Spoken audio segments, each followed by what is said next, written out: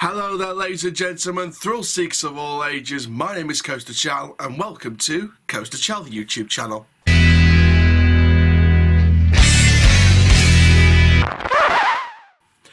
Hello there, ladies and gentlemen, thrill seekers of all ages. Coaster Chall here, Doncaster born, but built for theme parks, and welcome to another theme park newsroom update.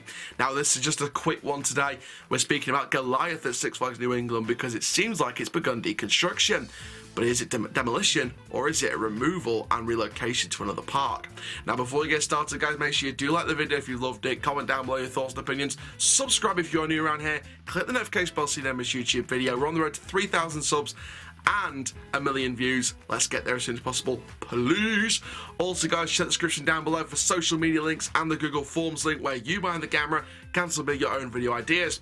And for now, guys, let's speak about Goliath's removal at Six Flags New England. So thanks to this picture from Six Flags New England online, Massive shout out to you, SFNE Online. Um, the removal of the cobra roll seems to be underway, but the section doesn't give away any clues on whether this is a full demolition or a relocation. Now, of course, this Vekoma giant inverted boomerang was operated at Deja Vu, uh, and it's been operating as Deja Vu from 25th of August 2001 to the 16th of October 2011. It moved to New England as Goliath from the 25th of May 2012 all the way to 2019 before standing SBNO for two seasons. Now, of course, there has been multiple rumours surrounding the future of Goliath. I spoke about rumours of a move to Frontier City, another Six Flags owned theme park. There has also been a rumour out there recently of Lake Winnepesaukah in Rossville, Georgia, potentially getting the roller coaster. Now, I'm going to share my thoughts on the move of Goliath and where I think the coaster could be going.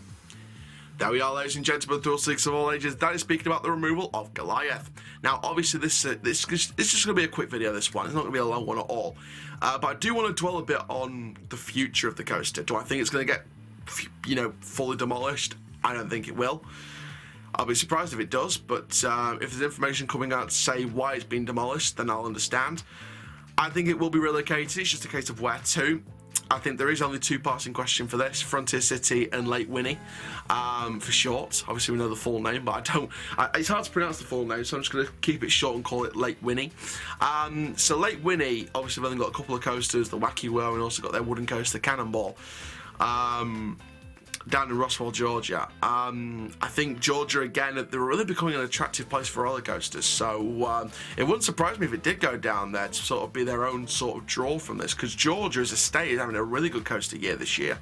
Um, Air Force One. Um, down at, at Fun Spot Atlanta being the main draw here. So obviously this could be a really cool year for the Georgia state if they introduce yet another coaster to a smaller park. The other one being Frontier City, that's been the long, long-standing rumour for a while now. Um, potentially in that tumbleweed location, possibly in the go-karts location.